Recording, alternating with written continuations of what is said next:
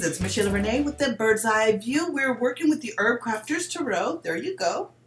And this is illustrated by Joanna Powell Colbert and Latisha Guthrie. Beautiful illustrator and artist. You can check them out on Instagram.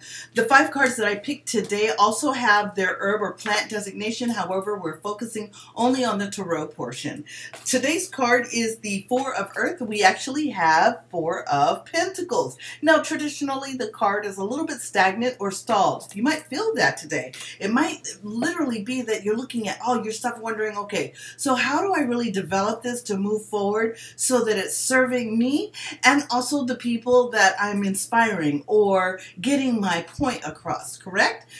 Well, we know that you are supposed to look at your stuff. You're supposed to have multiple um, assets, and that's a good thing. However, we can get stuck in that. So focus on something that will help you to move your project or what you're doing forward. Why do we know that? The Lovers pops up on Tuesday. And this is really about merging uh, an idea and for it to be coupled with something that will help assist manifest what you're looking to achieve in the week. Now, we can be really uh, weighed down by having too much in our basket, per se, in that Four of Pentacles.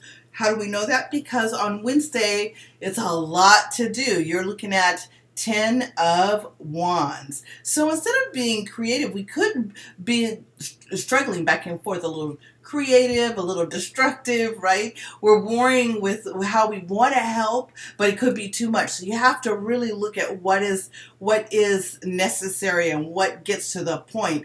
The 10 of Wands tends to be a card that shows a little bit of burden you might feel burdened or weighed down. So get your calendar out and really look at what you can do. Literally list the things that you have as an asset for yourself that benefits you and also benefits the purpose at which you're you're doing it right? Why do we know that's important and that's the case? Because by thursday we have the ace of fire ace of wands which says really focus your attention into one direction. Don't be all over the place. You have a lot, and you don't have to get rid of that stuff. You can do it as it goes along. So, therefore, you have plenty. So, if you're a business builder, you have plenty of content. If you're an educator, you have uh, plenty to research. If it's for your family or for your health, you don't have to do all the health stuff. Just start off one thing that you can stay focused on. And you will have benefit. Why? Because the Two of Wands shows up. So now you're partnering with yourself in the most lucrative way. And you're getting blessings from this uh, area that may have been a struggle before, a burden, you've released the burden. You went from 10 of wands to now 2 of wands.